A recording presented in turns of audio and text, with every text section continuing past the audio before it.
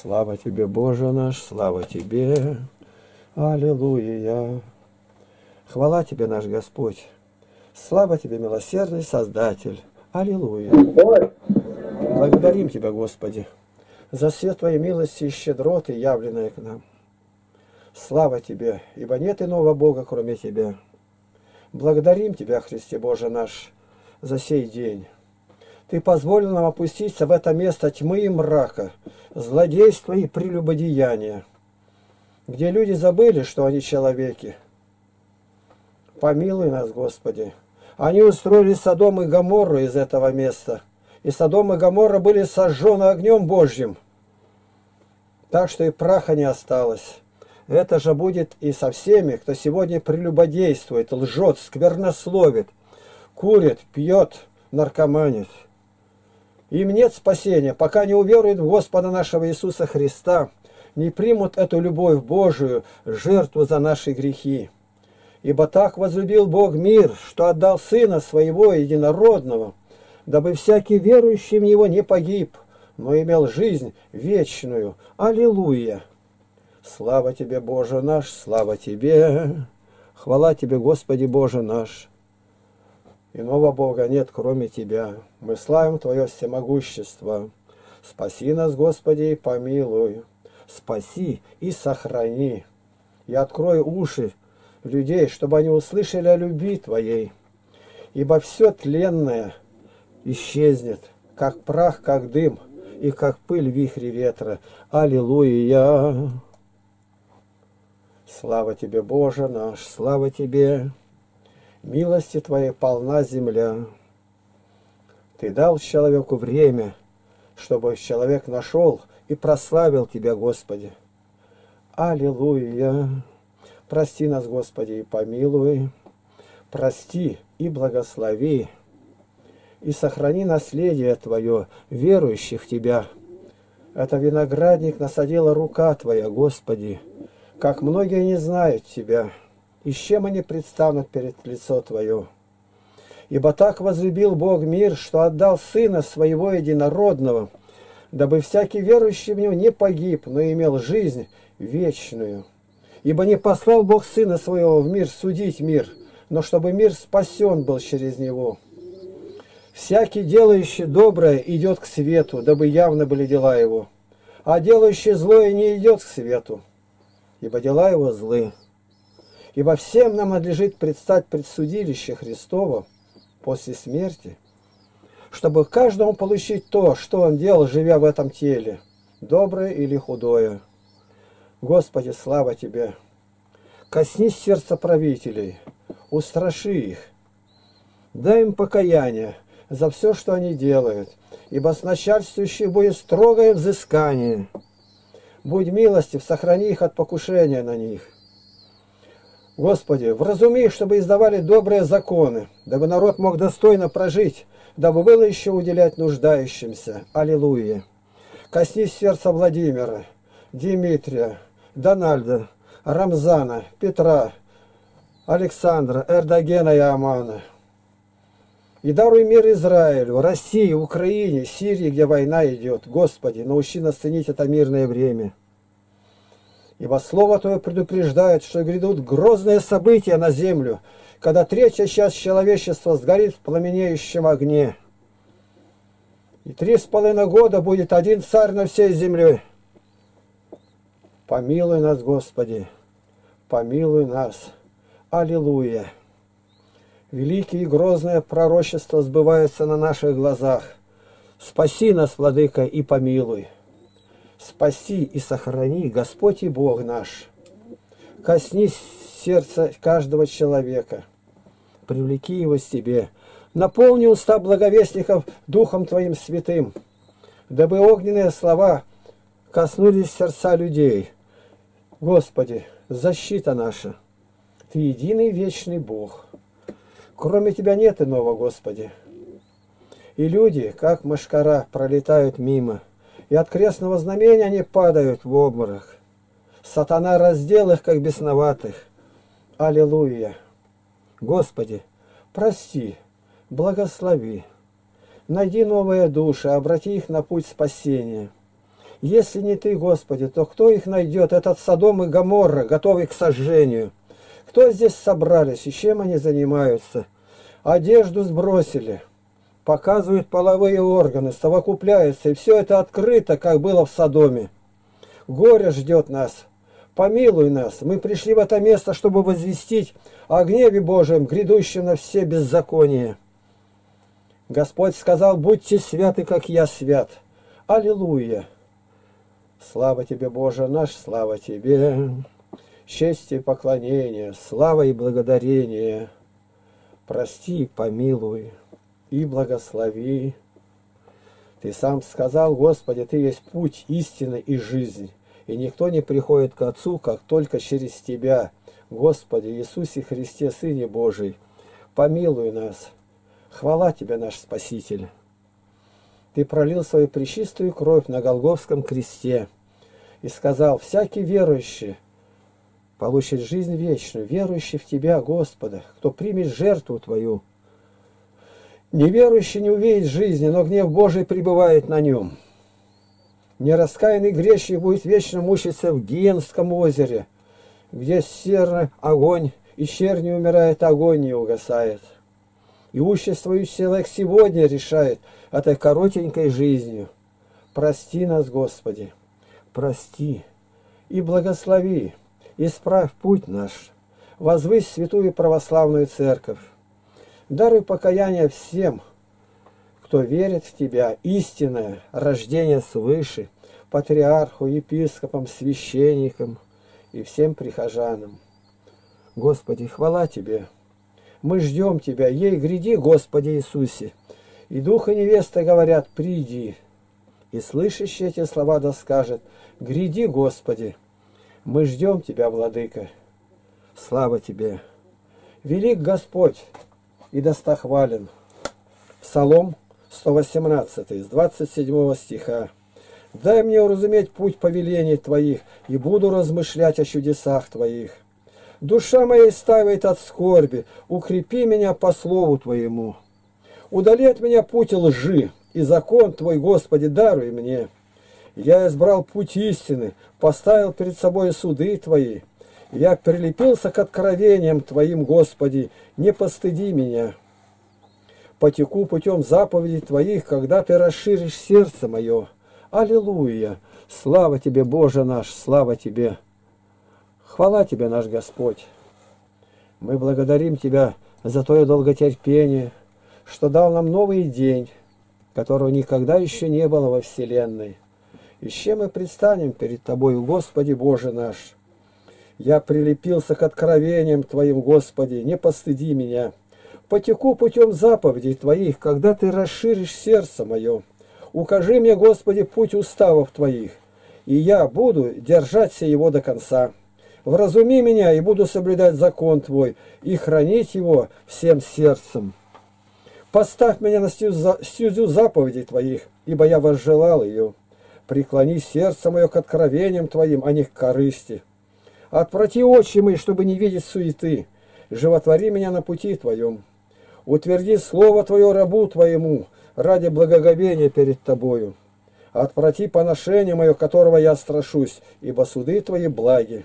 Вот, я возжелал повеления Твоих, животвори меня правдою Твоею.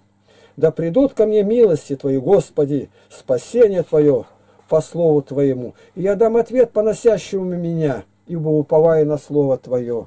Аллилуйя! Боже, будь милостив ко мне грешному, создав меня, Господи, помилуй меня.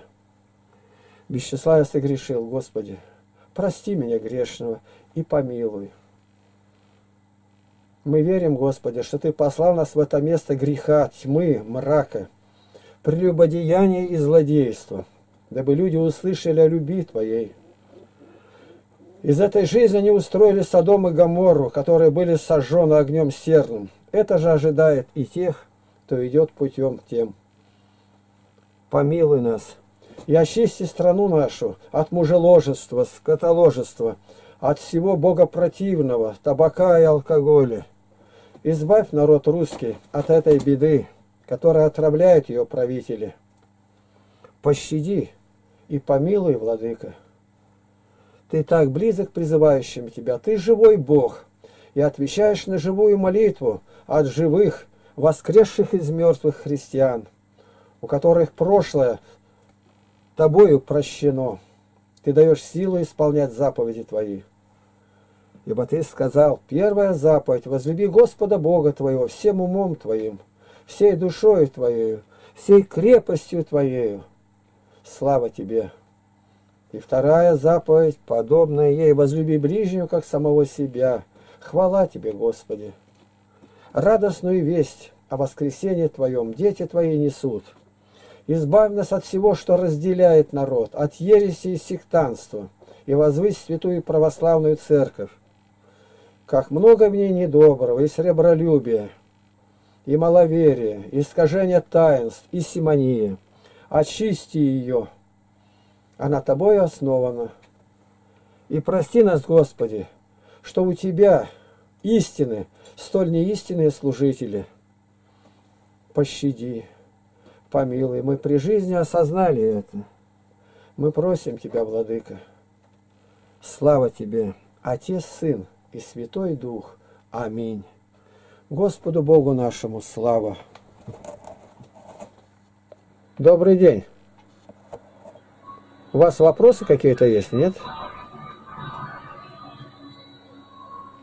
А вы на них сможете ответить? Конечно, я занимаюсь этим 56 лет в университетах, по радио, телевидении.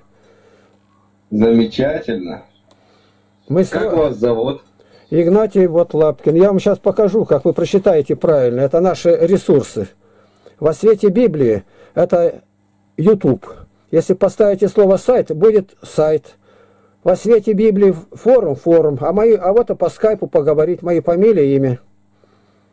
У нас 14 тысяч роликов только. Мы строим православную деревню с нуля, где нельзя ни пить, ни курить, ни материться, ни воровать, ни лгать.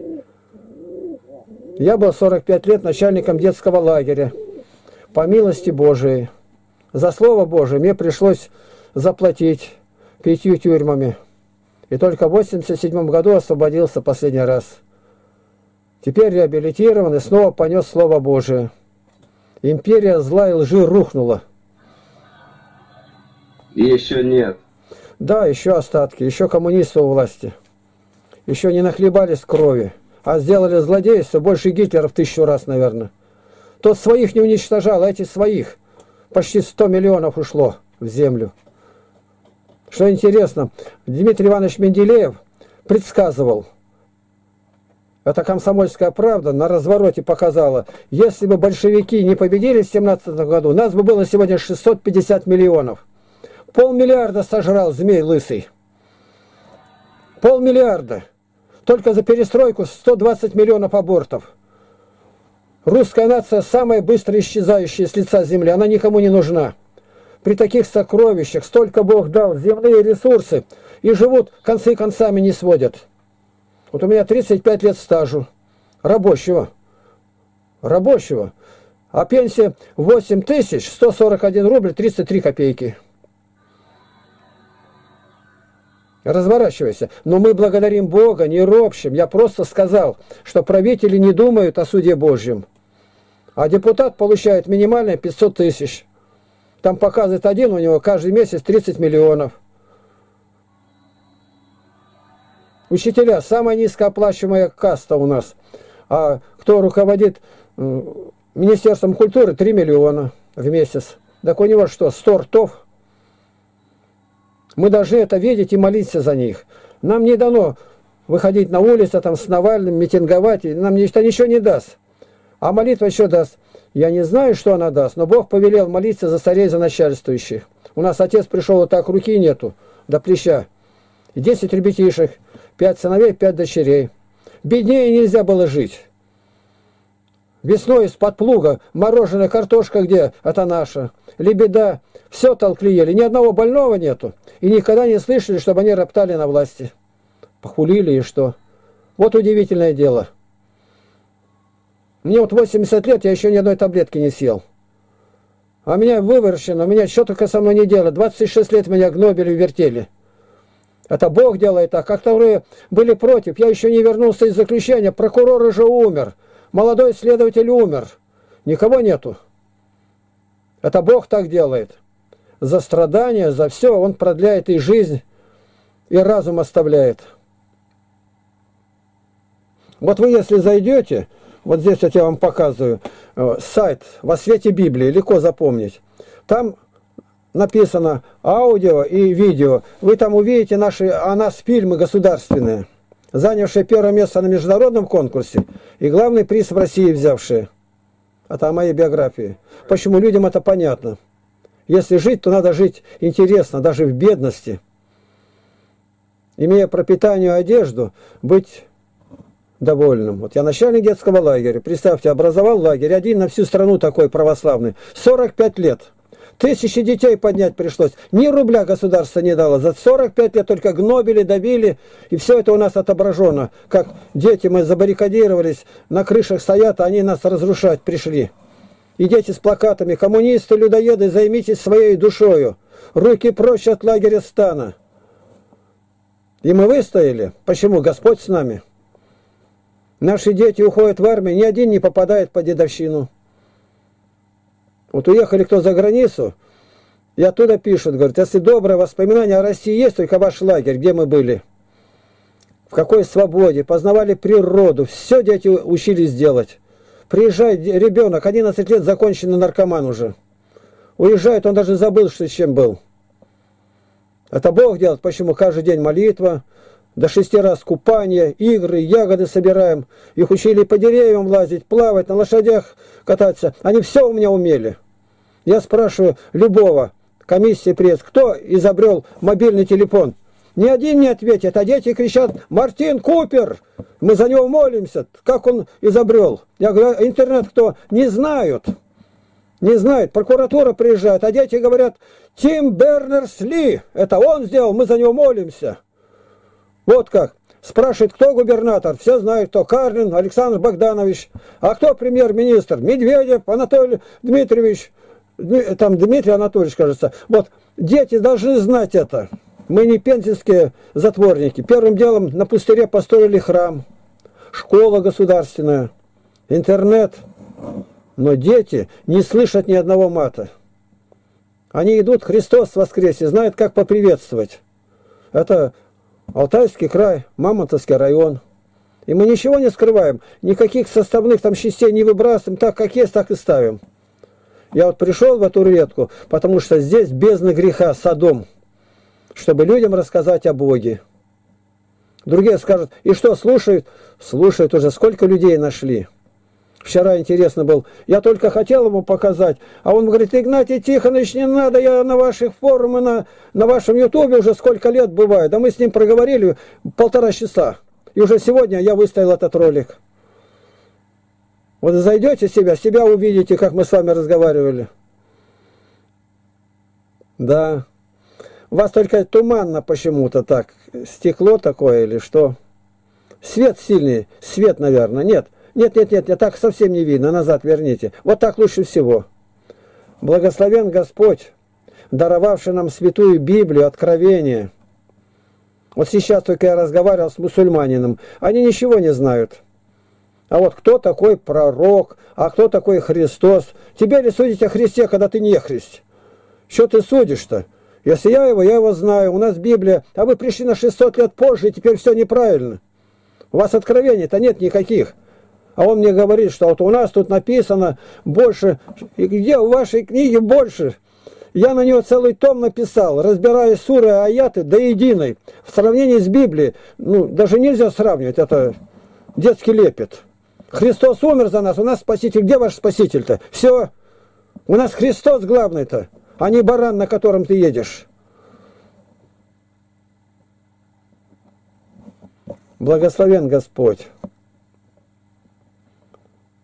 Что, у вас никаких вопросов нету? Да, я не знаю даже. Вопросы, вопросы-то есть, но... Вот ну да, давай, давай, друг, другой раз возможности не будет ответить, задавайте, любой. Да, а что-то не приходит. Ну вот то-то и оно. У меня интересно, я одновременно в пяти университетах вел занятия, и вот а фото свободный. А в самом университете 21 тысяча студентов. Это очень, очень большой контингент.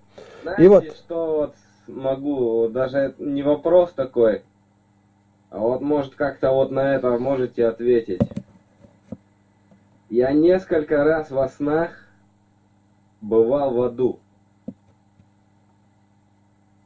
Прям шел по нему, знал, что это такое, где я нахожусь. Ну и там некоторые вещи делал, в общем.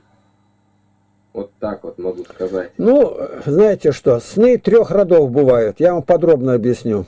Один сон это от Бога, о чем говорит Ян Касьян. Если ты видел там распятие, крест, на сто процентов это от Бога. Если ты крест не видел там, то это может быть от дьявола. Дьявол навевает, показывает разное там. И третье, от нашего обжорства и забот житейских. Три. Если ты только налопался, лег спать, у тебя во сне будет слон на животе стоять. А если ты веришь в Бога... В том, что, дело в том, что вот я когда там нахожусь, я оттуда постоянно выхожу какими-то путями.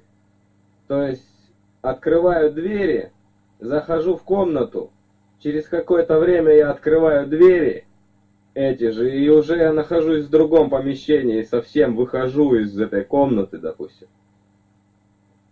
Вот так вот получается. Знаете, что это от сатаны, потому что Евангелие от Луки, 16 глава, говорится, был некоторый богач, и пиршествовал блистательно. Был некоторый нищий именем Лазарь, который лежал у ворот его в струпьях, все тело у него э, лопалось. А, и псы, приходя, лизали из струпья, его ему никто не давал. Умер нищий, и отнесен был ангелом на луну Авраама. Умер и богач. И похоронили его.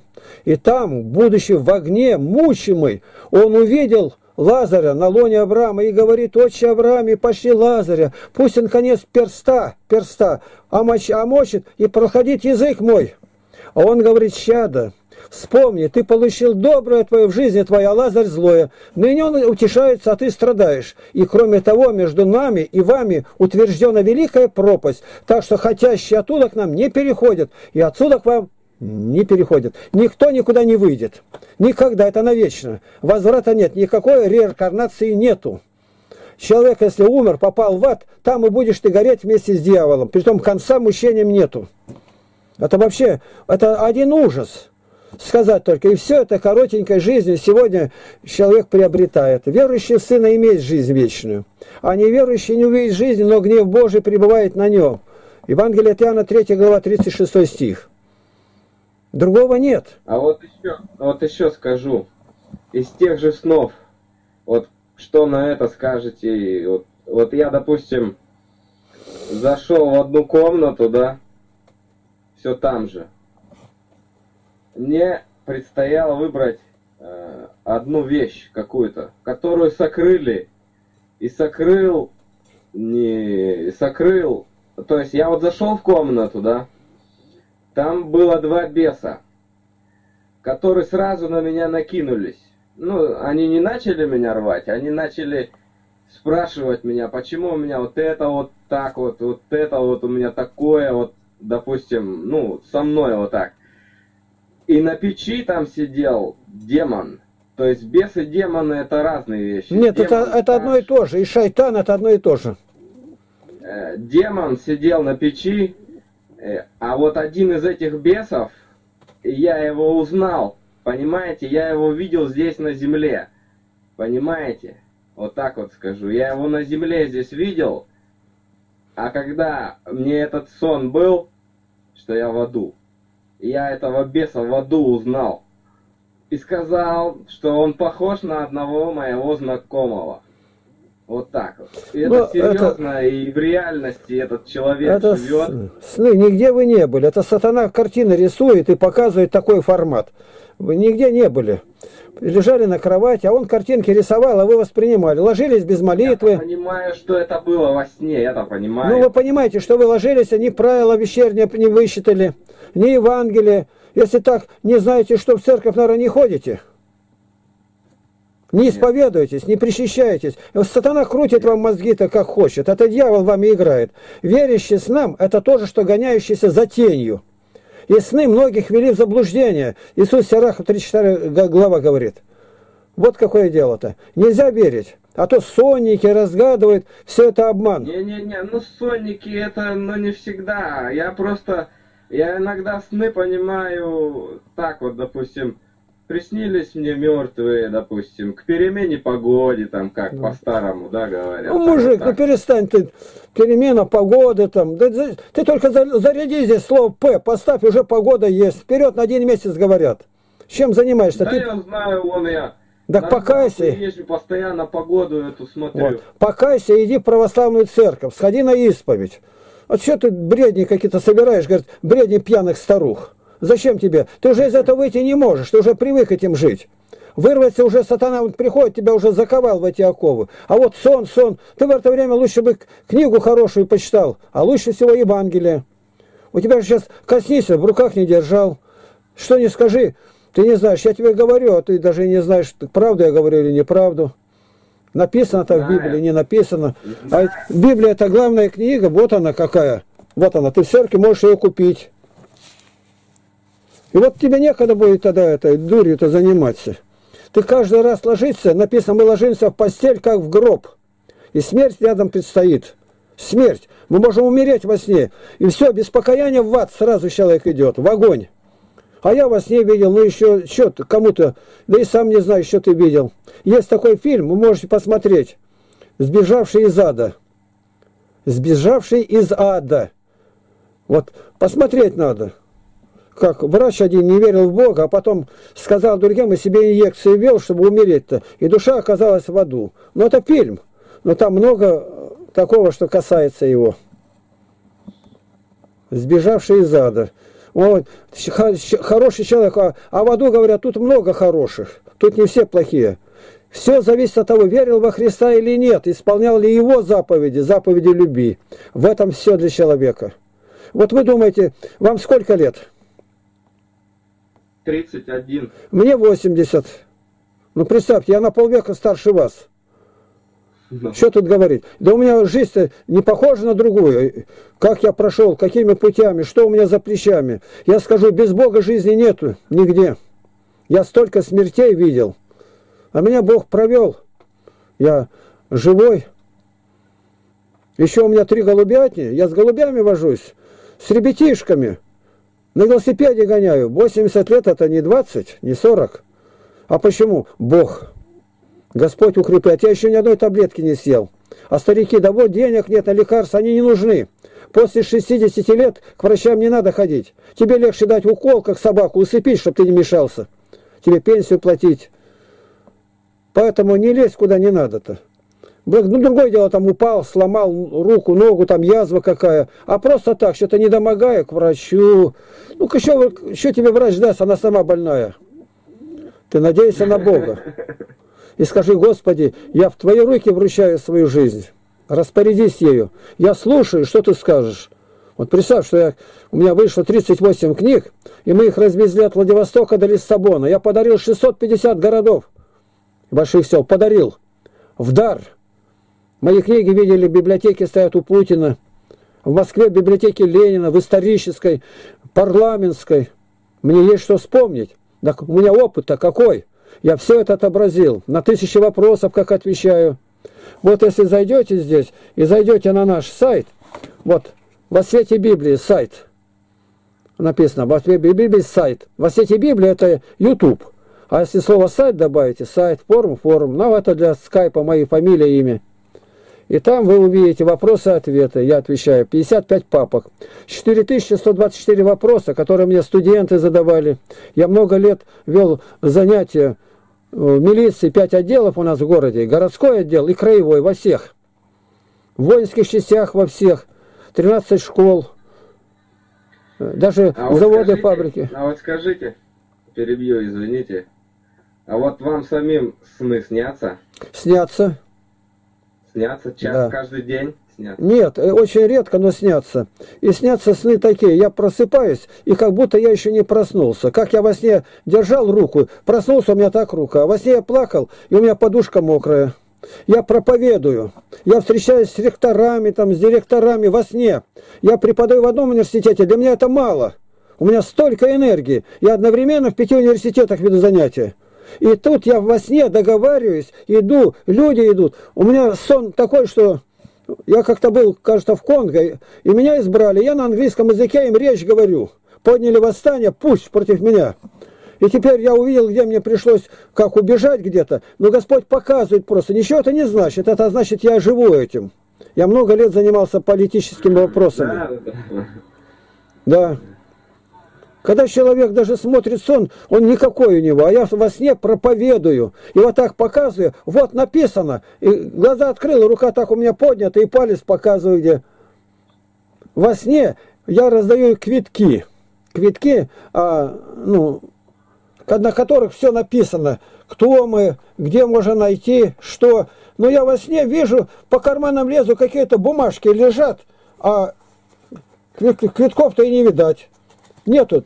Я не могу найти. Я сейчас вам покажу, какой квиток это. А на этой стороне у нас все написано, где и что. Я не знаю, видно, нет вам? Ну, размыто, расплывчато. А вот так? А вот сейчас хорошо видно, да. Ну. Вот так. Так я стал, ложусь спать и в карман кладу эти визитки-то. И как только положу, сна этого нигде, ни разу сон не приснился. А просто так, э, лежу, и я ищу, я знаю, мне охота людям показать это, придите на наши ресурсы, книги показываю. Ну, а значит, нельзя показывать там. Да не то, что нельзя, это сон. Сон. Ну, От заботы человеческой. Вот если я с ребятишками вот был, когда на операции, тяжелая операция была с позвоночником, у меня три грыжи, я на стройке работал. А люди-то лукавят, несешь рельсу. Он поднял ноги, а я же не могу бросить, а на меня уже две-три тяжести ложатся. И раздавлено там все. Ну и мне говорят, вот когда вы были под наркозом, что вы видели? Так интересует. Вот как мне это в рот дали, трубку такую, я отошел. Я вижу, я нахожусь у себя в лагере, солнечный день, и там, где дети играют у нас бадминтон, там настольный теннис, сидят дети. И какие-то светлые-светлые юноши ходят и что-то детям дают. Я знаю, это ангелы. Я это вижу реально просто все. И говорят, вот под наркозом был, память уменьшается. Я начал себя приходить, а еще никто не знает, что я уже прихожу. А я про себя мысленно стал считать. Евангелие от Иоанна, третья глава. И стал про себя считаю. Не сбился ни разу. Маленько погодя, врач подошел. Ну как? Да слава Богу. Давай меня за ногу там щипать. Чувствует нога или нет? Не перерезали? Ну, так, там сгусток нервов-то, позвоночник. Да. Вот. Потом я маленько, чуть-чуть так ототелемался, гляжу, губернатор края рядом стоит врач, доктор медицинских наук, а, делегация из Германии. Они как раз посещали больницу и ко мне подошли. Как Бог сделал, там мы знакомы. Э, у Бога все вымерено. И поэтому, когда операции делали, до этого еще одна операция была, я просил, чтобы без наркоза, я хочу пострадать, как Господь мой. А врач говорит, от вас это не зависит. У вас мышцы сами начнут сокращаться, а раз вы реагируете, я же не скажу, что я не чувствую, я чувствую, но я, я готовился другим быть человеком-то. Себя к этому готовил, испытания разные были. Нельзя это делать. Ну тогда я стал отходить уже на столе. А потом отвезли, и тут же пришли студенты медицинского института, а я немножко успел сказать. И когда я им говорил, в это время у меня боль-то, самое главное, это где перевязано, там было отрезано, она почти вся прошла. Это Бог делает так. Я подошел к операционному столу, меня привезли, там чуть не краном спустили. Настройки, тяжеленная работа, 40 с лишним градусов мороза. Мы фонари на заводе ставим посеред, которые светятся голыми руками. И в это время, вот когда я свидетельствовал, вот, а тут перестал, и я говорю, мне надо помолиться. А доктор, еврей Шойхет, Яков Нахманович, он когда-то мне операцию делал, он стоит, так руки поднял, у него перчатки вымыты, чтобы не задеть-то. И он потом мне рассказывал, он говорит, ну молитесь. Я на колени встал, стал молиться. А она стоит там, Матрена, она зовет Яков Наумович. Яков Наумович, ну сколько можно ждать? Тихо. Я помолился, он говорит, все, все, ну тогда ложитесь. Ему надо, чтобы у меня спокойно кровообращение работало. И вот Бог дает таких врачей, это на диво. Утром приходят, приносят там манную кашу. Я говорю, сейчас нельзя, сейчас пост идет. Какой пост? Я говорю, рождественский. Через пять дней пост будет, а сейчас пост. Да что, вам отдельно готовить? Я не прошу, я пять дней так пролежу. Ну, они пошли, видно, там сказали. И гляжу, там что-то на воде с растительным маслом приготовили несут. Заботливые, сестры оказались. Я лечу из России в Америку, а да, первая пересадка в Финляндии. Ну и дорога, там стюардессы все несут. Ну, я английский разговаривал. Они подходят, я им говорю, у нас пост, нельзя сейчас. А что можно? Ну, я говорю, мясное нельзя, молочное нельзя, яйца, вот три. А остальное можно. Они ушли. И вот я заметил, если они два раза подходили ко всем, за дорогу-то длинно, 9 часов в воздухе, то ко мне подошли 4 раза.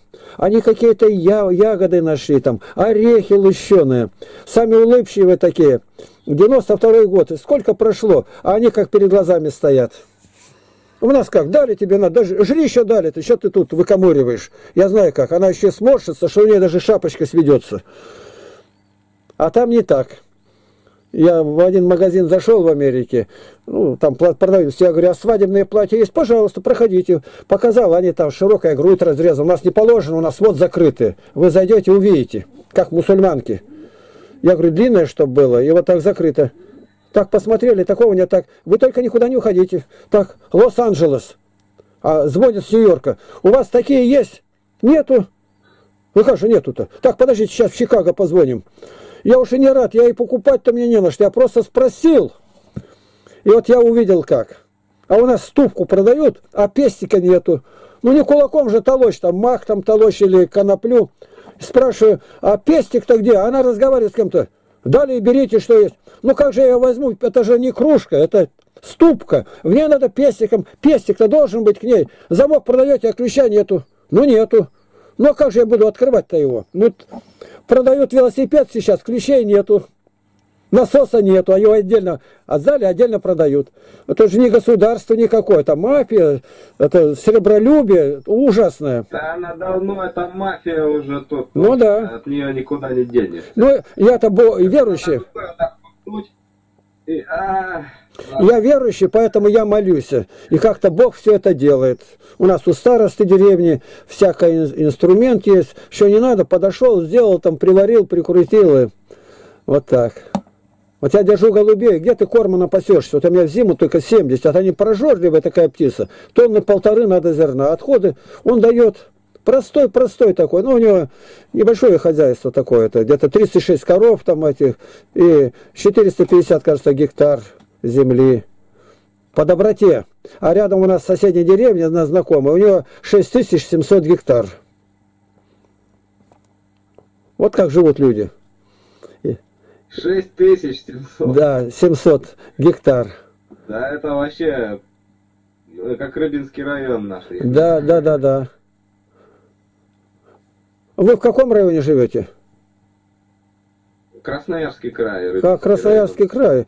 Знакомые там хорошие есть. А вы не в городе живете, Красноярске? Нет, Нет. мы в Заозерном живем. Ну ладно. Вот такое дело. Ну все тогда. Если вопросов нет, я за свое дело буду заниматься. Помолюсь еще. Вас как звать-то? Саня. А я Александр? Да. Да помилует вас Господь Александра, благослови его, Господи. Чтобы Господь тебя сохранил от несчастного случая, чтобы ты нашел Бога, ходил в православную церковь, никаким еретикам, сектантам не ходи. Там смерть. Да, я знаю. О, у нас тут бегали тут какие-то. Да. У нас, видите, вы зайдете в храм, там неправильно, что торгуют, но все-таки бывает во дворе, вы можете купить Евангелие, молитва слов узнать. Господь да пребудет с вами. До свидания.